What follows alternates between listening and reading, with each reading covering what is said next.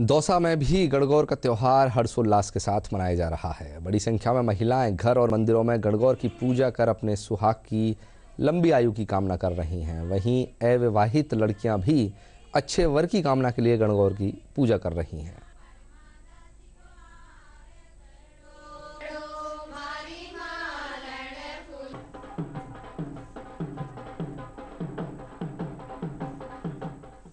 सोलह दिन से गणगौर पूज रहे हैं और आज गणगौर का दिन है। हम पूरी कॉलोनी वाले मिलके यहाँ पे साथ साथ गणगौर पूजते थे। ये मेरी पहली गणगौर है और आज के दिन हम घेवर खाएँगे मिठाइयाँ बांटेंगे और गणगौर पूजेंगे। भाई के लिए और हमारे पति की लंबी उम्र के लिए पूछते हैं और हम सब रोज सुबह झाड़ी भर के लाते हैं और फिर गणगौर माता पूछते हैं और सभी काफ़ी इंजॉय कर रहे हैं। ये राजस्थान में पूजी जाती है। ये सोलह दिन पूजी जाती है, जिन लड़कियों की शादी होती है, वो पहली साल में गणगौर पूजती है। ये सब बच्चियाँ पूज रही है, पाँच बच्चियाँ हैं, उनके साथ हम भी इनकी मम्मी यहाँ पूज रहे हैं सब। और बच्चियाँ खूब अच्छे से सोलह दिन से गणगौर पूजी जा रही है दोबले में जाते हैं सुबह सुबह, फिर दोबले के आते हैं, गणगौर पूजते हैं। शादी के बाद मेरी पहली गणगौर है।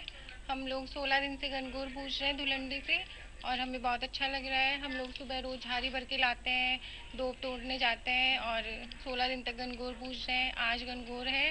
गनगौर में सब बहुत इंजॉय करते हैं। सोलह दिन का फ़ंक्शन होता है एक तरह से पूरा। इसमें सब अपने मतलब जो नई न्यूली मैरिड लेडीजें होती है वो अपने वर के लिए कामना करती है। उनकी अच्छी लंबी उम्र के लिए कामना करती है और सब बहुत इंजॉय करते हैं। राजस्थान का सबसे बड़े त्यौहार है ये।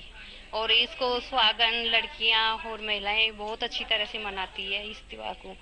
और हम सुबह पाँच बजे उठते हैं, जल्दी जल्दी जल्दी काम करते हैं, खूब तैयारियाँ करते हैं, अच्छी तरह दो वगैरह सोलह दिन हो गए हमारे को पूछते हुए।